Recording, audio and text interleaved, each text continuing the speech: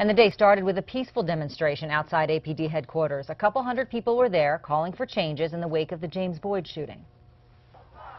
Outside Albuquerque Police Headquarters, people laid out photos of those shot and killed by police, including that of James Boyd.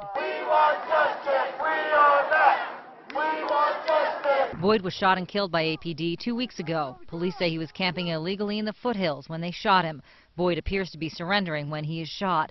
He had knives on him, and police say he was threatening them. I was disgusted because I've seen that firsthand. Amanda Chavez says Albuquerque police shot and killed her brother Santiago in 2012. She was one of the more than 200 people out on Sunday as part of the protest against APD. Greetings, City of Albuquerque. We are anonymous. The online group Anonymous called for the protest after the Boyd shooting. Chavez hopes the outcry leads to better training for officers. We're not against APD, we're just against the way they handle situations. Others took a more aggressive approach.